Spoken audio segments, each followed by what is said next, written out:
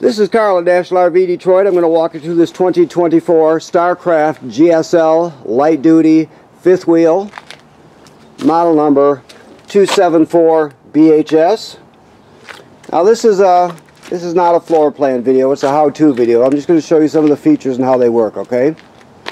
We're just we're just getting it cleaned up now so it's it's not totally clean, so uh, it will be it will be when you pick it up.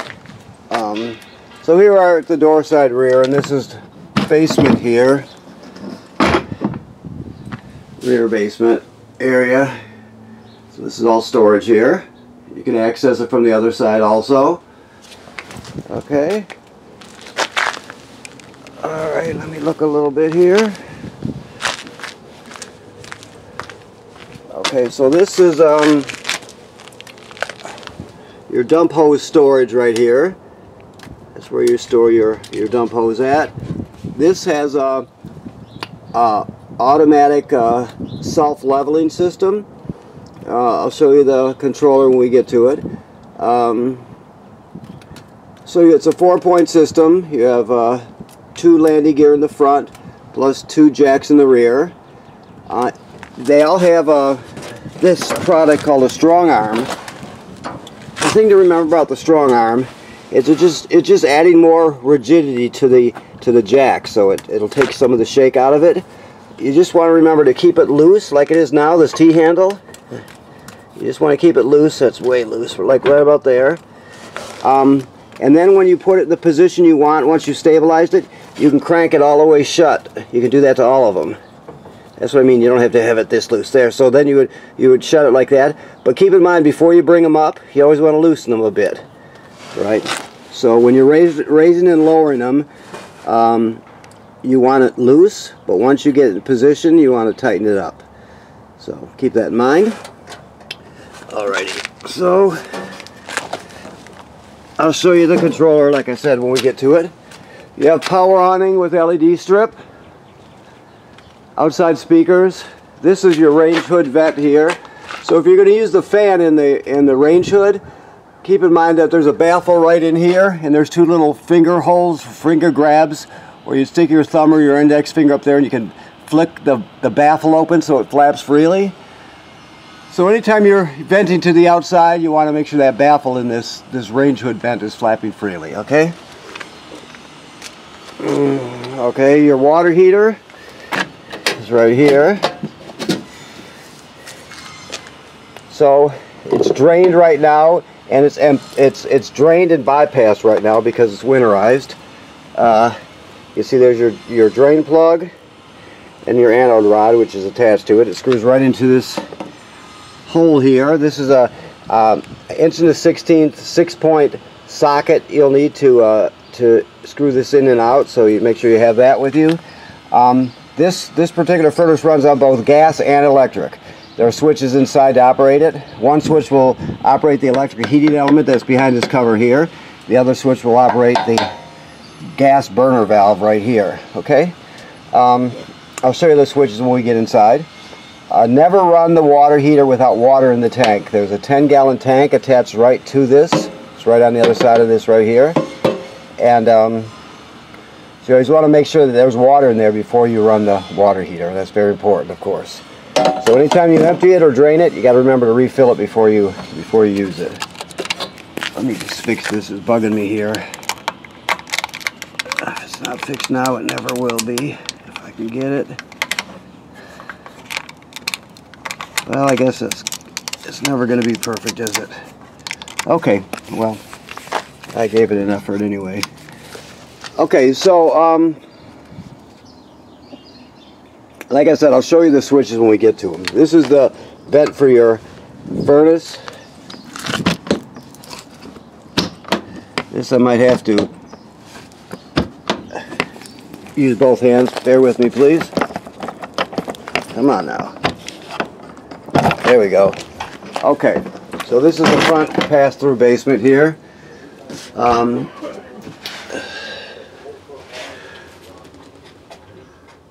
I'll show you the other side when we get to it. But basically a pass-through storage. You have some, some hookups here. and uh, for a TV set if you wanted to hook. There's power and signal if you wanted to put a TV set here. You have um, six, no, you have three um, 20 pound tanks, so you have uh, 60 tanks of, uh, or sorry, 60 gallons of, of LP, three 20 pound tanks. Okay, I got it out right that time. The, these two here are hooked to the system, like this, and there's one on the other side that's not. It's full, but you have to bring it over here and hook it up manually to use it. It's just uh, gives you an added 20 pounds anyway, okay? Uh, again, your your stabilizers here, they have they have the front ones have two strong arms on them. Remember what I said about leaving that wing that T handle a little bit loose when you're raising and lowering it, okay? You always want to leave that loose. Alrighty, here, your battery's up here. Show it to you real quick, right over here. And you can uh, you can actually add a second battery if you choose to. Okay.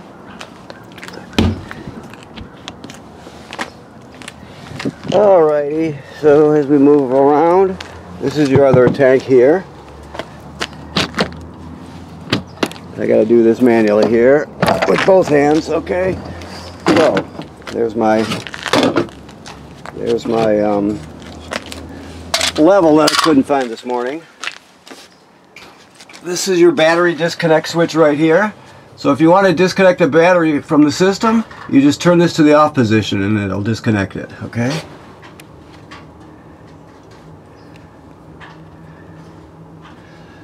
Okay.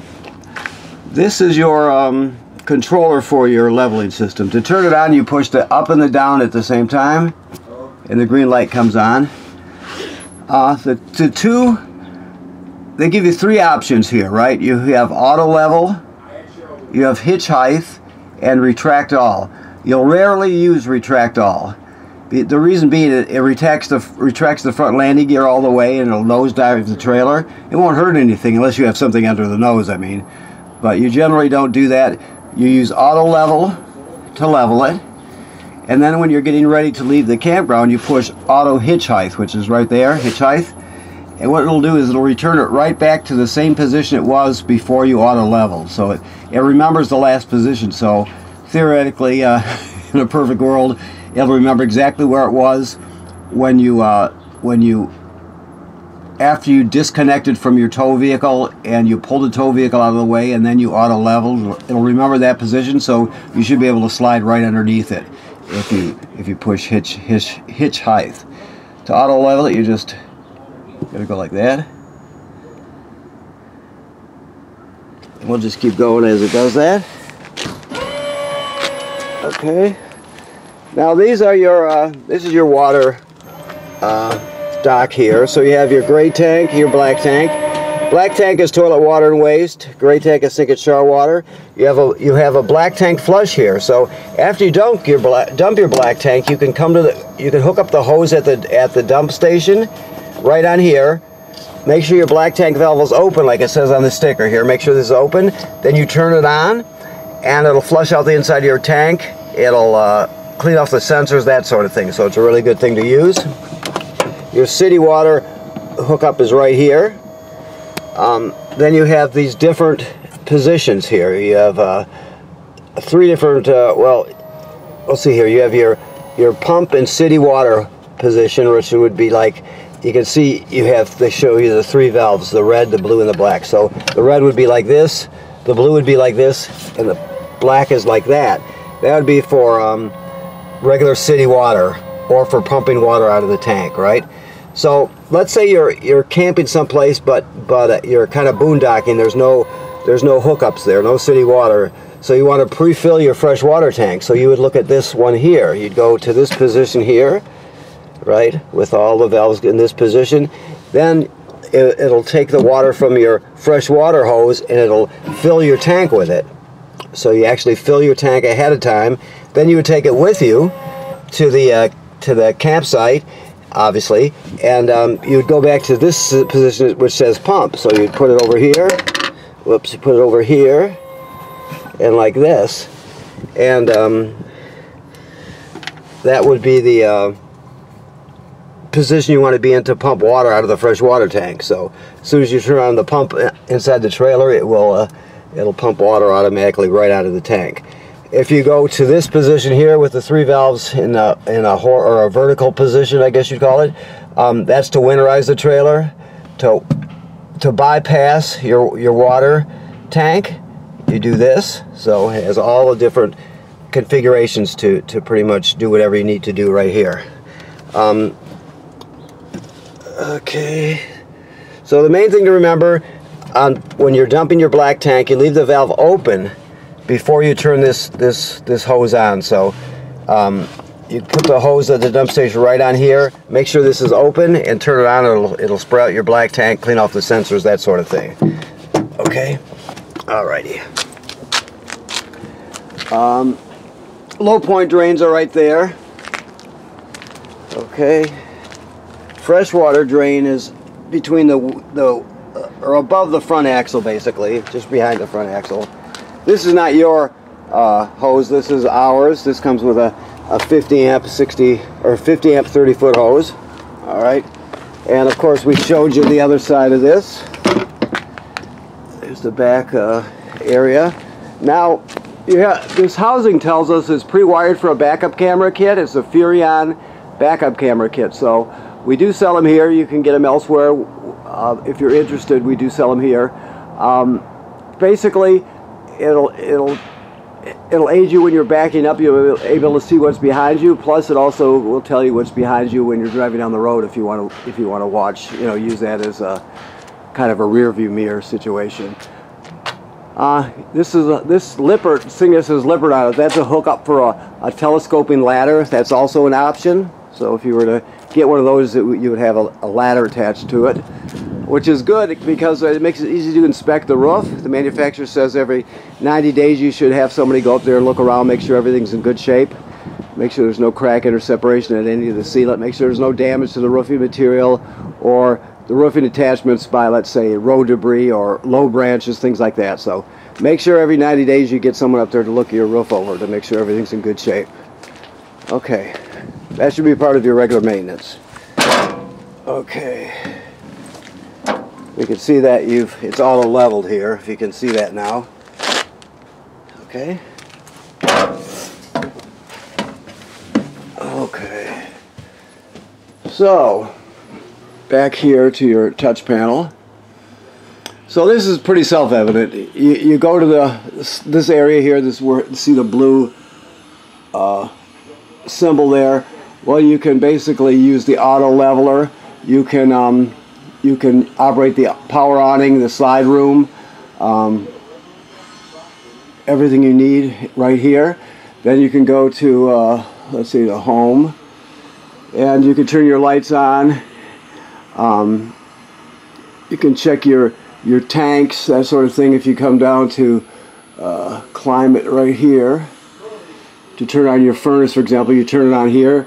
Then you would come over to the mode, which is on heat right now. So that just kicked it on. So right now there's heat coming out.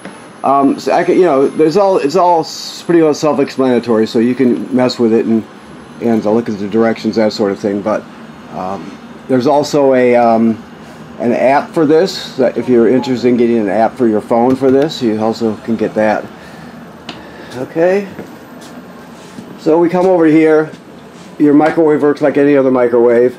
This is your range hood. I told you about opening the baffle on the outside if you're going to run the fan. So keep that in mind. Um, oops.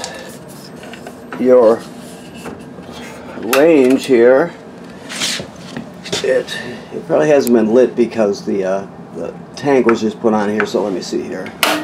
Yeah. So it'll take a minute to get the gas up here because, um, there it goes right there. Because um, I we had disconnected the tanks and then filled them up, so there's still that little that little space of, of gas line that had air in it. It had to work past that bubble. But once you do that, um, it'll it'll light the first click every time now. But just keep that in mind when you change out tanks, you're going to have that little bit of lag time till uh, you get it to uh, kick on. This is to light your your oven. This is the sparker. Turn it right or clockwise to spark the um, the burners in the oven. You have uh, light here and then oven light there. Always travel with this in the closed position. This is all the lit literature that comes with it. If you want to learn more about your control panel and that sort of thing. Another good way to do it is go to the, copy down your model number, let's say of your, um, of your BMPRO uh, touch panel and then you go to their site. They've got all kinds of videos, product videos, that sort of thing. So that's a good way to learn also. Your keys are hanging here. Alrighty. This is your power converter right here. Let's see where we're at here.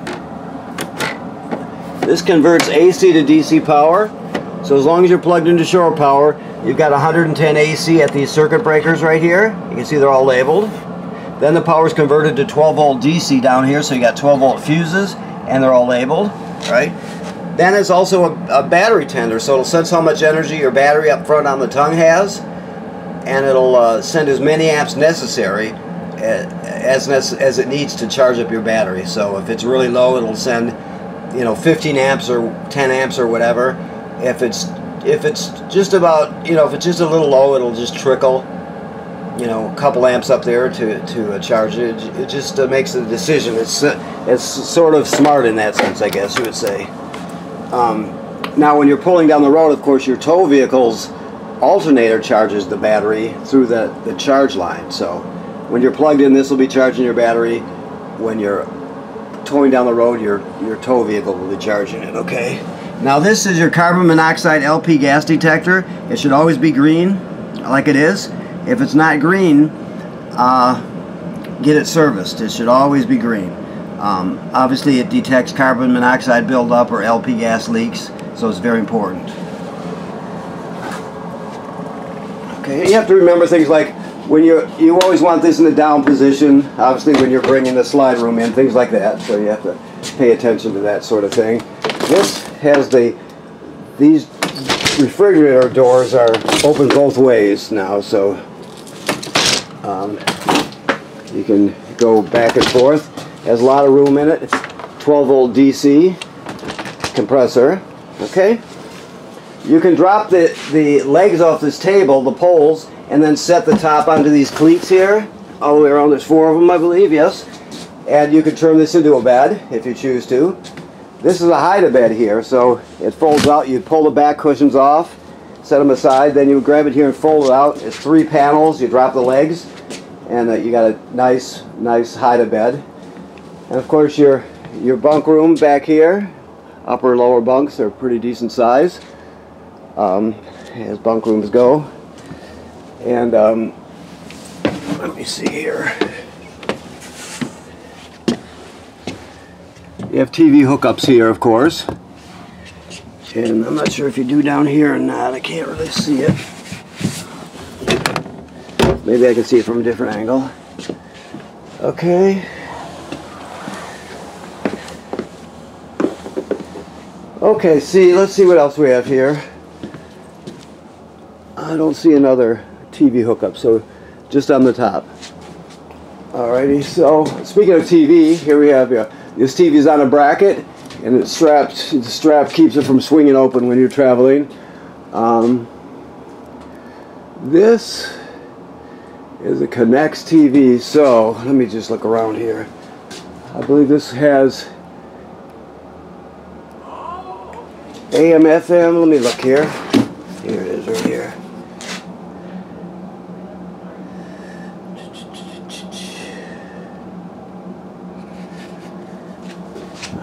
I believe this one has FM radio, even though it's not really not really set up for it. Let me see here. See if we can find out for sure. Yes, no information. No information. Well, that's good to know.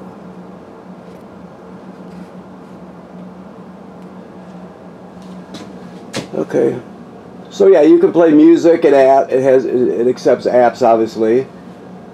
Uh, let's see. Uh, see if we can pick a uh, source here, that's probably right there.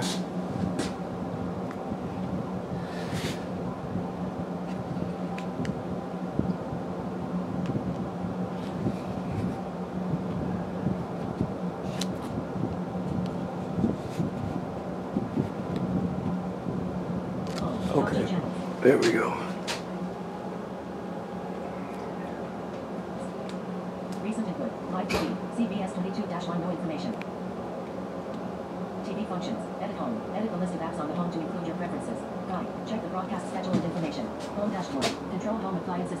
TV. Check the broadcast schedule and information. Registering the remote control. Loading. Guide. TVR. There we go. Unable to start the guide without current time being set. Please set the current time now. Okay. Okay, well, the, when this was prepped, it hadn't been set up yet. That's the problem. So uh, we'll make sure that it's set up by the time you get here. Um, we'll go from there. Okay, let's see. What else have we got here? Look around. Here in the bathroom, we have uh, first thing you see is a GFCI here. All the plugs in the trailer are wired through a GFCI, so if you if you're using the outside plug and it pops, you're going to reset it in here. Sink and shower work like any other sink and shower. The toilet works like any other travel trailer toilet. In that, there's a a um, a uh, it, the toilet sits right over a black tank. You see, it's got antifreeze in it right now. You have a flush pedal down here, and um, what you're going to want to do when you get to the campground, you hook up your power and your water, obviously. Then you'll come up here and you'll dump a dose of chemical right into the bowl, right? Then you'll stand on the flush pedal and hold it down long enough for a gallon or so of water to, to go into the tank below. Uh, so once you put a, at least a gallon of water, you can use more if you want, at least a gallon of water and the chemical, you're all set. If you don't do that, you'll it'll get clogged up for one thing, and, and the smell will be terrible. So you always got to remember that you want a dose of chemical and at least a gallon of water in there before you start using it. Okay. All right. You have a fan here, of course. Skylight. All right.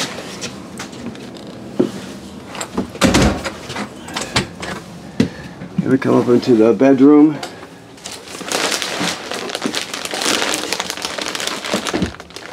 We have some chargers here. This comes up to us. Oh no, just just regular charger. Okay, phone charger. Um, regular shades. You have a emergency escape window here. You're just gonna let me get right over this. Get the pop open. Okay, so you're basically gonna push this all the way through, all the way through, and then you grab a hold of this red uh, tab here and pull the screen out, and you can escape during an emergency. Okay. You have TV hookups here. So you have uh, your hookups here, plus a backing plate to put a bracket. Okay. And then more storage. It's like a built-in storage, which is kind of neat. See that setup too often. It's really gives you a lot of room. This is just a sensor for the HVAC system. So anytime there's one in the in the back also. It's just it's just a sensor. Okay. All right. I think we've gone over everything.